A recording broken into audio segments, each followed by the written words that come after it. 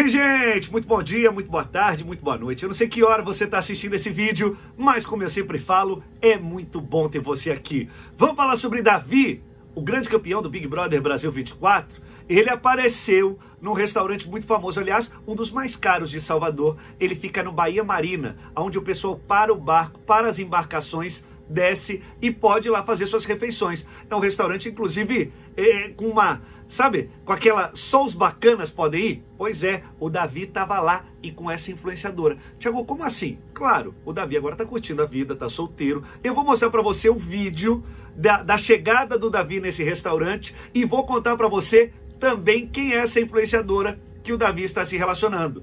Antes, eu quero pedir para você não esquecer de colocar o joinha no vídeo, não esquecer de se inscrever no canal e não esquecer também de tocar o sino, porque tocando o sino você ativa as notificações. Aí sempre que uma fofoca nova chegar por aqui, você vai receber aí e não vai pagar nada por isso.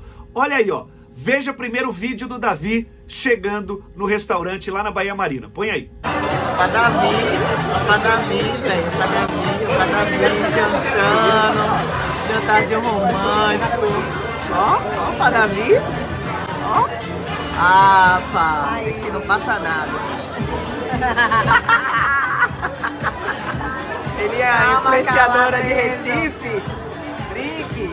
Pessoal, essa daí que o Davi chegou é a Bárbara Contreiras. Tiago, quem é a Bárbara Contreiras? Ela é influenciadora. Ela é uma menina muito bonita. Você tá vendo aí o, os cabelos cacheados da Bárbara? Pois é, ela tem 22 anos acumula mais de 650 mil seguidores no Instagram, onde ela mostra a rotina de vida dela, mostra também alguns vídeos de dança, alguns vídeos engraçados. Eu vou colocar agora para você um encontro que a Bárbara teve com o Davi e acabou flagrando. Olha só. Está no mesmo condomínio que ele aqui. E eu fui abrir o portão, pensava que era minha amiga que tinha chegado. Eu meti a cara no carro, pensando que era minha amiga e era ele, mulher. Eu fiquei mais rasa que um chão. Aí eu entrei, né, cadê da casa, morgadinho de biquíni, mulher, meti a cara assim no carro dele, mas não sabia. Aí quando ele desceu do carro, eu, meu Deus, desculpa. Aí ele veio aqui.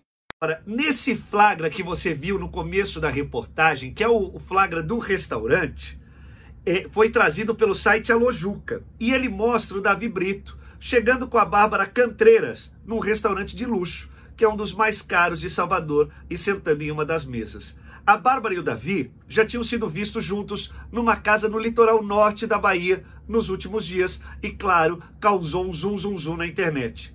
Ela chegou a se manifestar nas redes sociais dizendo que o encontro tinha sido por acaso, já que eles estariam hospedados no mesmo condomínio. Ela disse que foi abrir o portão, que pensava que era amiga dela chegando.